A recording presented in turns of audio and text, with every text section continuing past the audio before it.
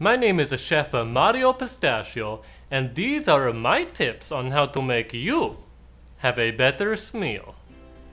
Hello and uh, welcome to my show. Today we'll be doing a bit of fine dining.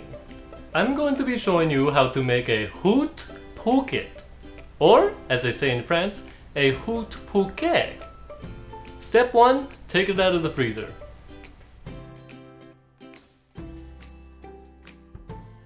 Now that that is taken care of, we take it out of the plastic. Believe me, I made that mistake before. You don't want to do that. Now the recommended time to cook a hoot bouquet is like what, an hour? Well, we're just gonna put it in for like two minutes because uh, I say so. So uh, that's the deal. Yeah.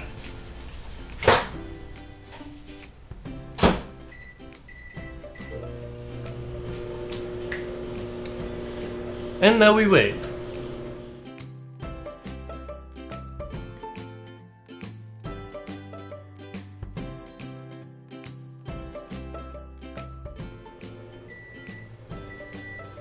Time's up. Time to get it. And we take it out, we put it on the counter. Hard as a rock, that microwave's broken. So, I know what you're thinking. Mario, why would we put a hot pocket? I'm sorry, I mispronounced that. A hoot poke into a broken microwave. Well, there's a lot of reasons you might do that. Number one, you have a broken microwave. Number two, I don't have a number two. Let's go cook it in a real microwave.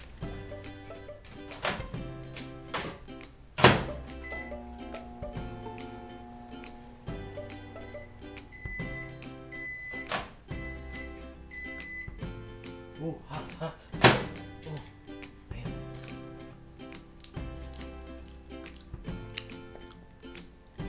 Mmm, tastes like cancer.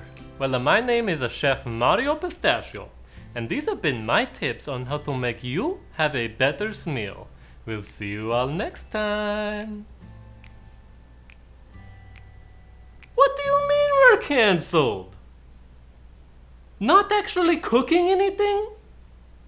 Did they see me put it in the microwave? better smell him. Kevin and Pistachio arguing.